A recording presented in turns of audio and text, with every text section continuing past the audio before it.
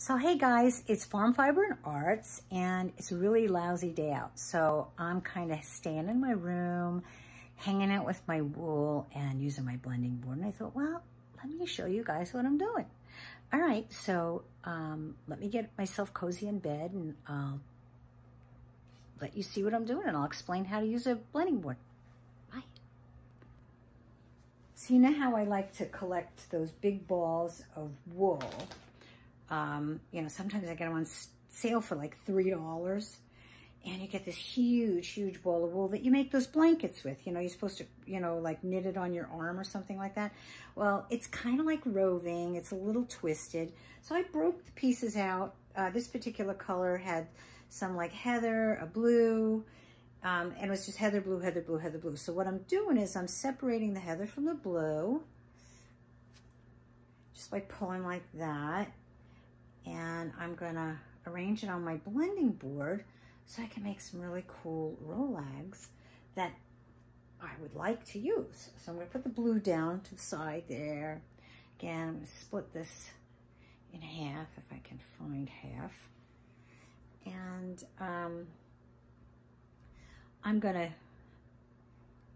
air pump it. I, you see how you see these, um, the, the dye isn't in there even um, well, the air pumping kind of pulls air into it. It, it fluffs your wool, nice. And then I can stretch it onto my blending board.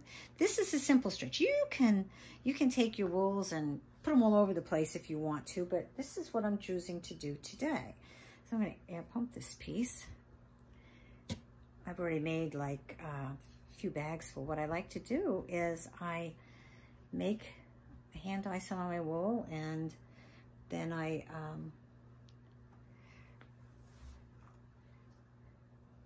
sell it. You know, I, I bag it up, sell it.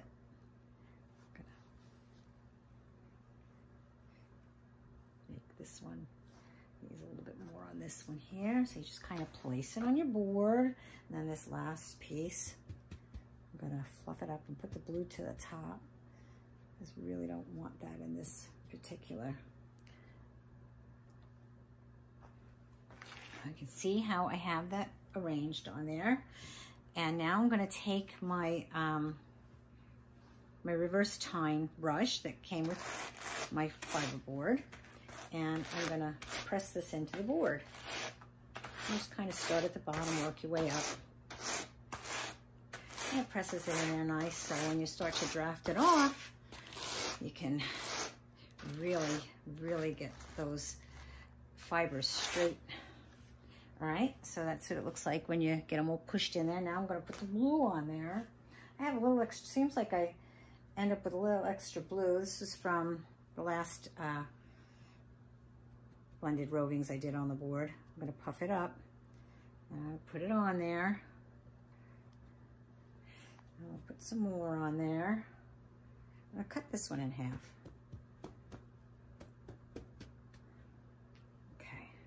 Then I'm gonna puff it up. I'll put that one, that one's a nice one. Put that nice and wide, fill up that middle spot. You can get more craftier than this. Is, this is kind of a simple thing that I'm doing here because this wool is already nice and aligned and easy to work with. But um, not usable for me. So now I'll make it into something that's usable for me and maybe for someone else. I'll take this little bit and I'll puff it up too.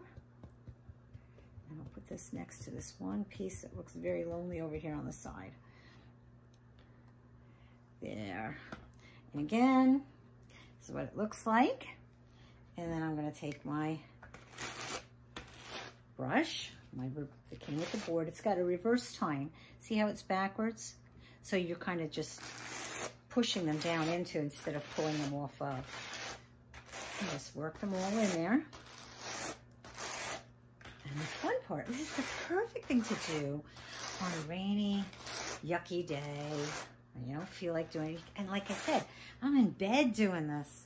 I'm in bed doing this. So you always have to have a little bit of a knitting needle here to help you pick up your your ends, you know, when you're ready to take your stick. You take a stick that comes with the board, one of them on the bottom, one of them on the top, and you just kind of tuck everything under there. I'm wondering if I can do this on an angle. Let's see. I'm trying to show the stick. Wait, well, the board is on an angle. Maybe it'll sit there for me. Let's see. So you kind of lift a little bit. And draft. I don't know if you can see this. No, I'm not thinking you are. There. Now you should be able to see it. So I'm lifting the wool and drafting a little bit. And then I'm wrapping. And I lift and I draft. And I should be able to get three Rolags out of this board. Look at the colors, how nice they're lining now. And when you're ready to lift it off, you just kind of, and then give it a little, make sure it's on there.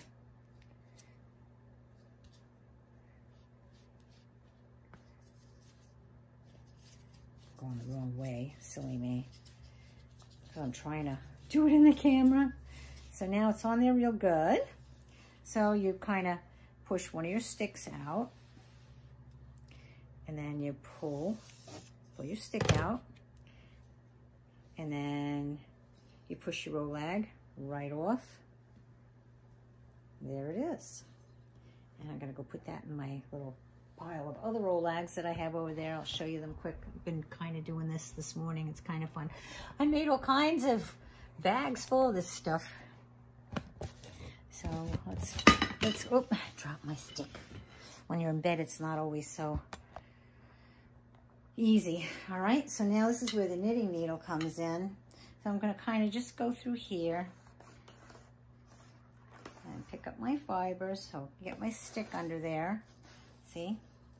And put my other stick on top. And you just kind of turn them under, roll it to get it tight, lift, I use the edges of my board when I'm drafting. It keeps my board from sliding away. You got to put, put some energy in there. You're pulling a, a lot of wool. Lift a little. It looks like I don't have draft going on on the end here and I think I'm going to draft right off and I'm going to use that last little bit for the last Rolag.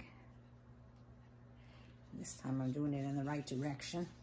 Kind of just smooth it. You just turn your, so you get them on there nice and there's no stray fibers hanging off.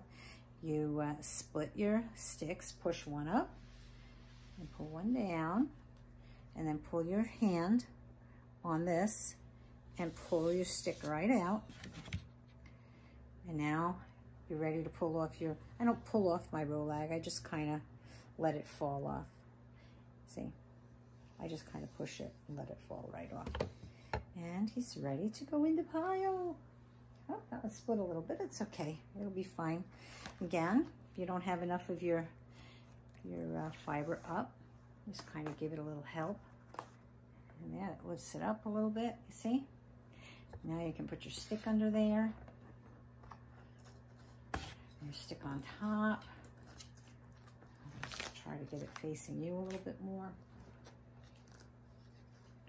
And I'm just gonna turn your fibers. Let's see. I don't know.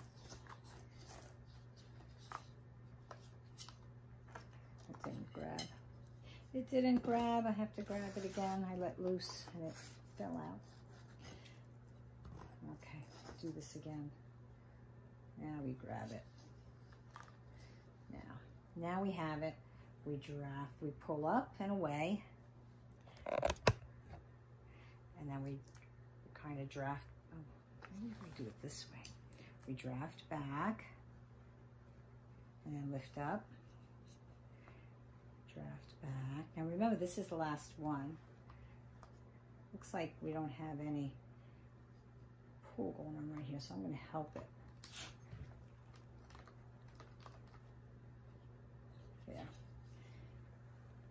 This is the last of it, so I'm just going to keep turning until it's completely off the board.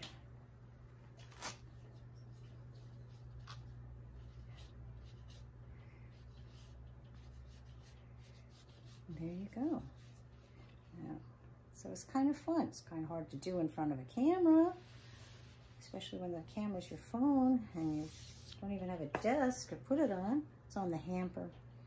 Anyway, there's my popsicle lag, and I'm just going to pull it right off into the pile. Again, I take my drafting brush and I'm going to reverse it to get off the extra. And that goes in my in my loose crazy wool pile, which is up on the dresser right now. All right, well, that's working with a blending board. It can be a lot more fun.